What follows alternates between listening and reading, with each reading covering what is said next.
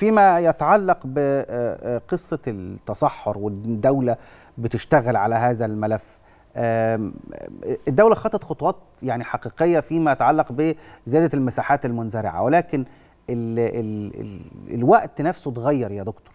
يعني الصيف ما بقاش صيف والشتاء ما بقاش شتاء وإحنا النهارده مثلا في فصل الربيع ولكن درجات الحرارة في أعلى معدلاتها.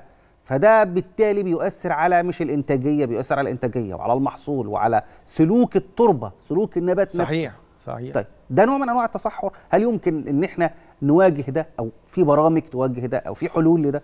آه الحقيقة إحنا فصل الصيف بقى عندنا طويل جدا فصل الشتاء بقى قليل. إحنا النهارده درجة الحرارة 41 يعني في القاهرة. وإحنا في الربيع يعني حاجة صعبة جدا يعني. ما كانش ده بيبقى في شهر مايو يعني. ده بيبقى في سبعة وفي سبعة شهر 8 حيث الحرارة الطبيعية بتاعتها بتبقى هذا الموضوع. عشان كده هناك تفكير من الدولة ومن وزارة الزراعة إن هي تحاول تعدل الدورة الزراعية. يعني مثلا أنا بزرع إمتى وبطلع الانتاج إمتى؟ في الدوره الطبيعيه اللي هي بقى إيه آه اللي هي الشهور القبطيه اللي حضرتك عارفيها بشمس وكياك الفلاح عارفها؟ لا إحنا هيحاول يعمل شيفت بحيث بإن أنا بدل ما آه يعني أحصل على المحصول بتاعي في فترة معينة أحصله قبل كده. يعني بدل ما أجمعه في شهر خمسة أو ستة آه يعني أعمله في شهر أربعة علشان يعني وأشفت شوية. يعني دي أحد الحلول المطروحة إن إحنا تعديل الدورة الزراعية علشان نقدر إن إحنا نقلل من تداعيات المناخ والحرارة الشديدة على المحصول. حضرتك طبعا أي محصول بيتأثر كل المحاصيل تتأثر بالحرارة فيما عدا محصول القطن.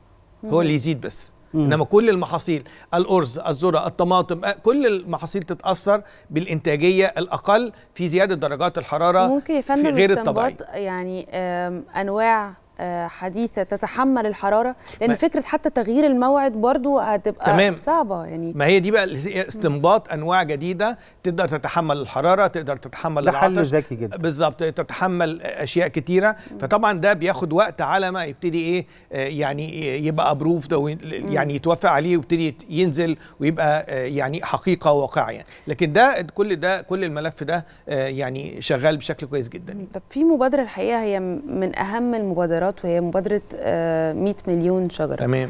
مبادرة مهمة جدا مبادرة رئاسية طبعا. الحقيقة ولما سمعنا على الرقم في البداية اتخضينا إن رقم كبير جدا وبيتطلب مجهود كبير جدا لكن الهدف اللي وراه كمان هدف نبيل وهدف مهم جدا. الحقيقة 100 مليون شجرة يعني يمكن فخامه الرئيس طرح عدة مبادرات في مجال البيئة تحضر للأخضر يعني حاجات كتيرة جدا. يمكن يعني تعتبر 100 مليون شجرة دي بالفعل هي الرئة الأساسية اللي إحنا بنعيش عليها كمصريين. ويمكن من دلالة الرقم بيقول لنا 100 مليون إحنا 100 مليون. فكأننا بيقول لنا أنتوا كل واحد مواطن. مواطن شجرة يا ريت يحافظ عليها. إحنا هنزرعها وأنتوا حافظوا عليها. المرحلة الأولى في سبع محافظات انتهت. وبدأنا في المرحلة الثانية وبالفعل أنا شفت هذا الموضوع بنفسي وكنت بشارك فيه في بعض المناطق. بالفعل اتسلمت هذه الأشجار للناس واتعملت مش بطريقة بقى اتعملت بطريقة صحيحة بحيث إن يبقى مثلا في المدارس والجامعات تبقى أشجار مثمرة. يعني برتقان جوافة رمان زيتون.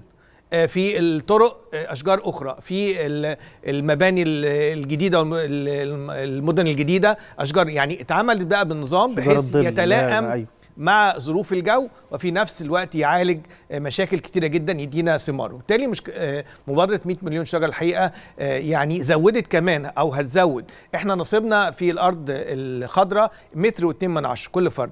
هتضاعف هذه النسبة إلى اتنين ونص وده طبعا بيخلينا على بداية العالم اللي هو بيتمتع بخضرة أكبر. يعني.